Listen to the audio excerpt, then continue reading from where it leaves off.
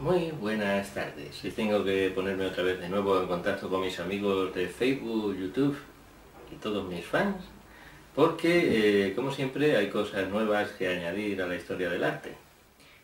Bueno, no me gusta repetirme, pero evidentemente no puede ser una cosa seria que borren 60 éxitos de un artista en una página llamada Wikipedia, porque diga que se promociona. 60 éxitos son 60 éxitos y en los 60 éxitos hay otros artistas, señores. No se borra una página que parece ser que estaban abiertas a nombre de la obra. 60 obras se borran porque pertenecen a qué artista. A que salen en él el mismo 60 veces. Eso se llama promoción. Si yo estreno 60 obras, son 60 participaciones, 60 compañeros de reparto distintos, algunos repetirían, pero aunque se repitieran, porque son temporadas como las del Martín, en el que hubo 30 40, de 30 a 40 éxitos en teatro, o en las de Apolo, que hay de cerca de 60 a 65 estrenos. ¿Eso es promocionar a quién? ¿A la compañía de Apolo? ¿Del año 11, 12, 13, 14? ¿O promocionamos a la compañía del Martín del 19, 20, 21, 22, 23? ¿Quién es el chiflado? Porque es de un chiflado. El que diga que alguien se ha promocionado. ¿Quién ha promocionado la familia? ¿Me quieren decir quién ha promocionado el arte? Están ustedes locos. Si ponemos las obras de familias importantes, evidentemente sacaremos unos 100, 200 estrenos. Pero claro, si se están fabricando las páginas, como estaban haciendo, para abrirlas, ¿no será que tienen miedo en Wikipedia de ver que cada artista tiene ciento y pico obras? Cada artista importante, me refiero, los grandes señeros, como los que estaban en, Wikipedia, porque no se tiene ningún artista como la familia Videgaín o la familia García, cinco, seis años en una Wikipedia por amor al arte, sino porque se han escrito libros de ellos, porque tienen obras de teatro, libretos donde ponen que las tienen dedicadas, libretos que dicen qué papel hacían, las, personas importantes tienen muchos trabajos y evidentemente salen más veces, pero eso no es promocionar a una persona. ¿Intentan lavar las cabezas a la gente o qué? ¿Qué tratan? De mentir. Los artistas malos no salen en, en muchas obras. Los regulares salen unas cuantas. Y evidentemente los grandes artistas españoles, que hay muchos, salen más. Eso es lo que nos gusta, que se vea que salen más.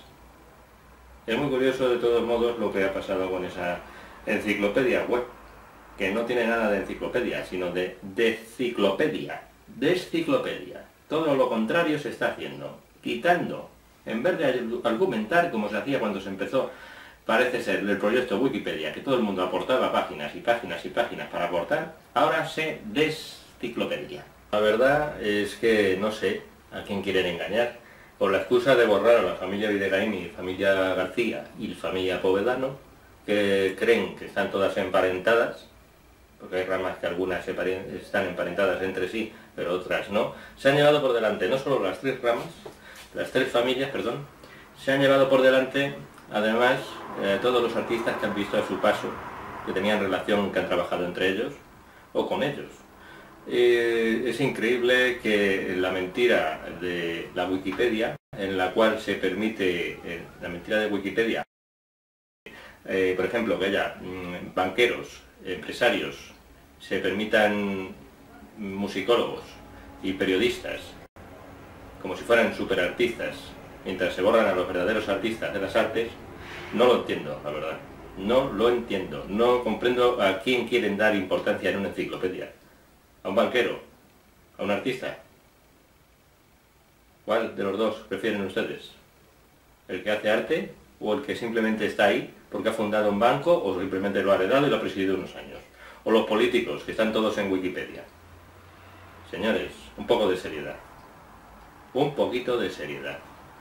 No se puede borrar a Manuel Nieto, no se puede borrar a Olvido Rodríguez, Lino Rodríguez, no se puede borrar tampoco o atacar a las familias de teatro como Gutiérrez Cava, familia Alba, familias como Isber, familias Bardén incluso, familia Muñoz San Pedro yo creo que no está ni bien reflejada.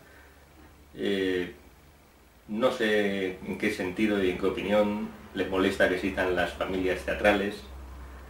No sabemos por qué no puede haber una familia 20 artistas o 15 artistas. Tienen que ser siempre artistas de otras personas sueltas, anónimas. Siempre. Señores, llevamos seis siglos trabajando en teatros. Seis siglos, he dicho, sí, no miento. Las familias de teatro ya existían hace seis siglos en España. Unas ramas se perdieron, otras se olvidaron, otras no saben ni quién son, no trabajan en activo. La familia más antigua, entre comillas, vuelvo a repetir, que no es porque lo diga yo, pero desciendo de rama de ella, es la familia Fernández y es del siglo XVIII. Señores, siglo XVIII. Cuenten, el XVIII, el XIX, el XX y estamos en el XXI. Yo, Juan José Videgainer, que ha sido borrado de Wikipedia, desciende de una saga de artistas del siglo XVIII.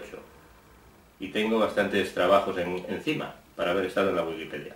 Trabajos sociales, por el cual he sido reconocido con el premio ELA en 2011, o eh, trabajos en los cuales eh, he participado en multitud de actos con los más famosos escritores españoles.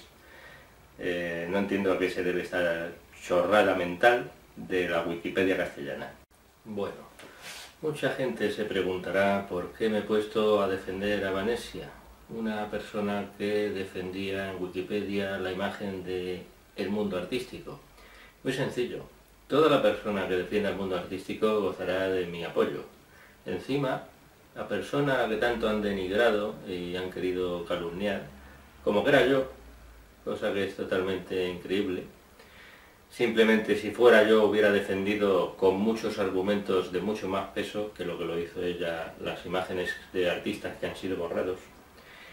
Evidentemente, eh, es una persona a la que puedo decir que pertenece al mundo del arte, es una persona que defiende de saga artística, no pueden decir y calumniar a la gente diciendo que yo he escrito en la Wikipedia las imágenes de mi familia. Esto es denigrante. No sé quién se creen ustedes que son, ni qué clase de personas se ocultan bajo sus seudónimos, pero lo que no pueden hacer es denigrar a la pobre Vanesia, ponerla eh, a caer de un guindo a una persona que tenía más de 10.000 participaciones en Wikipedia. Más de 10.000, señores, me lo ha comentado ella. Le han borrado la página, la bloquearon, la expulsaron. Una persona con 10.000 páginas intervenidas. Imagínense, escribir 10.000 participaciones y empezar a borrarle sus trabajos solo porque sí. ¿En qué promociona el puente de Arganda a la familia Videgain? ¿Me lo quieren decir? ¿En qué promociona la foto de Alfredo Kraus a Juan José Videgaín? ¿En qué promociona también la fotografía de Marujita Díaz? ¿A Juan José Videgaín? ¿En qué? No tenemos conexión ninguna, simplemente somos artistas de la profesión. Señores, no mientan. No mientan. Han borrado Vanesia porque les incomoda una persona que entienda de arte y haga encima eh, acto cultural público gratuito en esas Wikipedias. No cobraba ni un euro.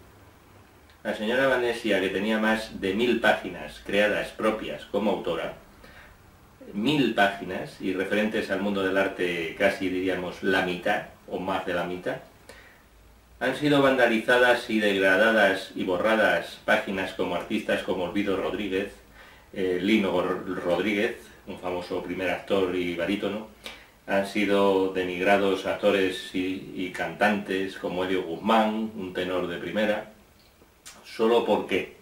¿Porque tuvo compañía con Salvador Vidalaín? ¿O porque era muy buen tenor? Eh, eh, ¿Cuál de las dos causas ha sido?